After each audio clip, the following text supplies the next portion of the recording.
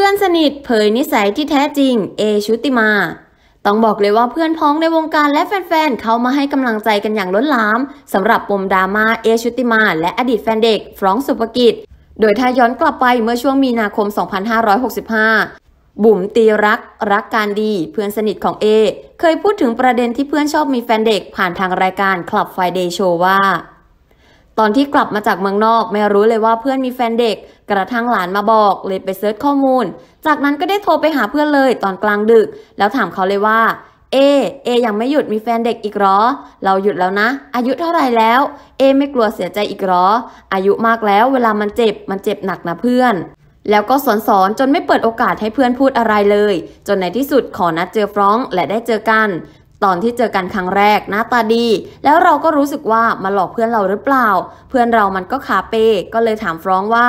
คบกับพี่เอนานหรือยัง เจอกันที่ไหน ยังไง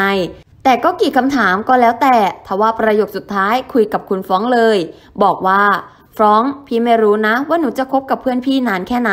แต่พี่ขออย่างเดียวได้ไหมขอให้จบกันดีๆ ถ้าถึงเวลาจบ พี่ขอให้จบกันดีๆนะ บุ๋มระบุต่อว่า ที่พี่พูดแบบนี้เรารู้ฤทธิ์เพื่อนเรา เวลามันโมโหองค์แม่ลงจริง ๆ เพราะเวลาโมโหดุมาก เรายังเอาไม่ลง ซึ่งหลังจากที่บุ๋มพูดแบบนี้ฟรองก็อึ้งไปเลย เด็กงงไปไม่ถูก แล้วเขาก็ไลน์มาหาเอ ซึ่งเอก็บอกไปว่าตอบตอบไปก่อน เดี๋ยวจัดการเคลียร์เอง อีกทั้งบุ๋มยังเล่าต่อว่า จากนั้นก็ได้พูดคุยกับเอว่าจะยังไงก็แล้วแต่ เราอยู่ข้างๆเพื่อนนะ แล้วก็บอกว่าถ้าวันหนึ่งเด็กทิ้ง คอนโดเราก็มีนะ เอาไปอยู่ได้เลย เป็นที่พักใจเมื่อถามว่าคบกันมากี่ปี ฟรองบอกว่า 6 ปีแล้ว เราก็ต้องยอม แปลว่าเขารักกัน เขาพยายามประคับประคอง ด้านเอเล่าต่อว่า หลังจากขึ้นรถไปก็ถามฟรองว่าพี่เขาถามเยอะไหม ซึ่งฟรองบอกว่างงเขาถามเยอะมาก เอก็เลยบอกไปว่า เพราะว่าเขาเป็นห่วงเราสนิทกัน กลัวเราจะโดนหลอก ชีวิตเราผ่านอะไรมาเยอะ ฟรองอาจจะเกิดไม่ทันชีวิตพวกเรา บุ๋มแค่ห่วงเขา เพราะเขายังชอบเด็กอยู่ คือห่วงว่าเขาจะต้องเสียใจอีกสักกี่ครั้ง เราพูดตรงๆนะ ต่อให้ฟรองรักเอยังไง แต่เขายังวัยรุ่นอยู่ เดี๋ยวเกิดมีผู้หญิงมาอีกอย่างนี้ เขาก็อดวันไหวไม่ได้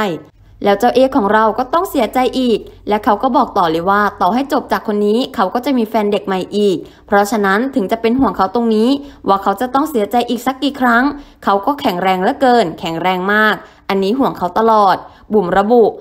คือเราเข้าใจค่ะ เวลาเพื่อนห่วงทุกคน เพราะมันเป็นเรื่องจริง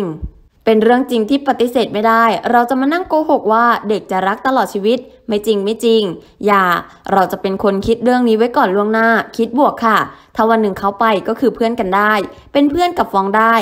เป็นแม่ใหญ่คอยดูแลครอบครัวเขาได้ คิดว่าอย่างนั้น เอพูดทิ้งท้าย